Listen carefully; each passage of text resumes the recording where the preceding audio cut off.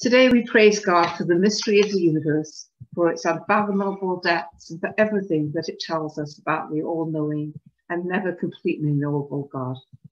In the name of the Father, and of the Son, and of the Holy Spirit. Amen. The celestial tapestry of bright stars, bursting supernovas, spinning planets, shimmering northern lights, galaxies beyond galaxies, dazzle our imagination. Can our minds conceive of this vastness? Are our hearts large enough to cherish all of God's majestic creation with humility and awe? Long ago, you laid the foundation of the earth, and the heavens are the work of your hands. God, our Creator, as we reflect on the mysteries of the cosmos, we celebrate the wondrous design of the universe and the wisdom that guides its course. Help us to discern how we are connected with living members of the cosmic community. Teach us to sense the presence of the cosmic Christ, whose presence fills and reconciles all forces in creation. Amen. Psalm 147. Sing to the Lord with thanksgiving. Make melody to our God on the lyre.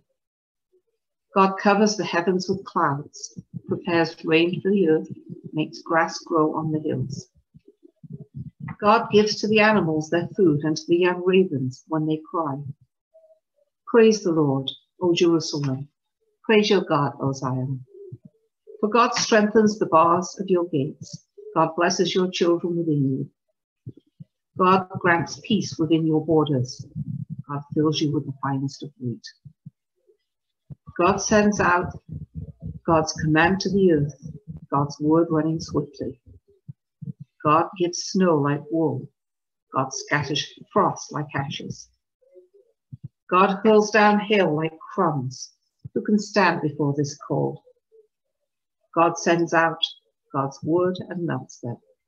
God makes the winds blow and the waters flow.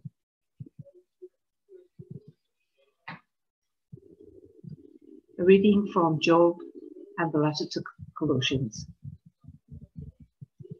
God is wise of heart and supremely powerful. Who has challenged God and survived? God moves mountains before they know what is happening and throws them down when angry. The Almighty shakes the earth and moves it from place to place, making its supports columns tremble. God commands, and the sun doesn't rise, and the stars don't shine their light. God stretches out the heavens and treads on the waves of the seas. God made the Bear and Orion and Pleiades and the constellations of the south. God's deeds are beyond understanding. God's wonders are numberless. Christ is the image of the unseen God and the firstborn of all creation. For in Christ were created all things in heaven and on earth, everything visible and invisible thrones, dominions, sovereignties, powers. All things were created through Christ and for Christ. Before anything was created, Christ existed, and all things hold together in Christ. God wanted all perfection to be found in Christ, and all things to be reconciled to God through Christ, everything in heaven and on earth.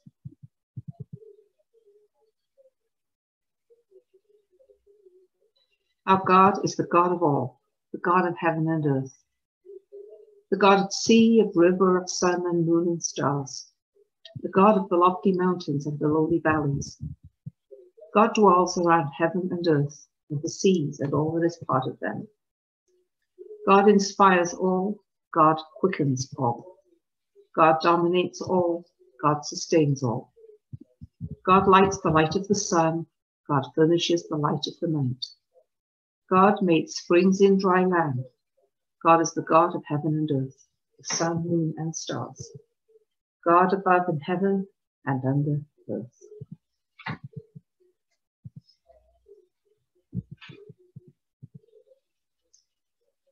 A reflection by Anne Rowthorn.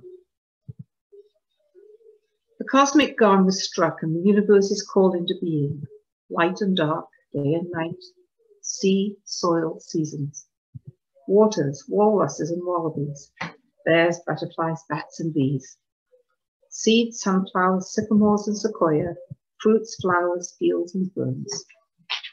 Frozen earth and howling winds, sleet, snow, and driving rains, frost and hail and arctic chill, boiling deserts and blistering heat. Stars and planets and galaxies dancing across the northern sky, Southern Cross and Milky Way, dense forests and towering pines, wide deserts and treeless tundra, tides and waves, mighty rivers and pounding waterfalls.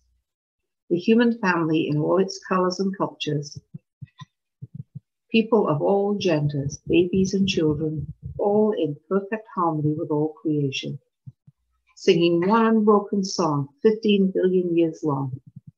Will greed and lust, powers and principalities, and fatal faceless forces reach out through the ages and eons and still the cosmic gong? God, maker of marvels, you weave the planet and all its creatures together in kinship. Your unifying love is revealed in the interdependence of relationships in the complex world that you have made. Save us from the illusion that humankind is separate and alone, and join us in communion with all inhabitants of the universe through Jesus Christ our Redeemer, who topples the dividing walls by the power of your Holy Spirit and who lives and reigns with you forever and ever. Amen.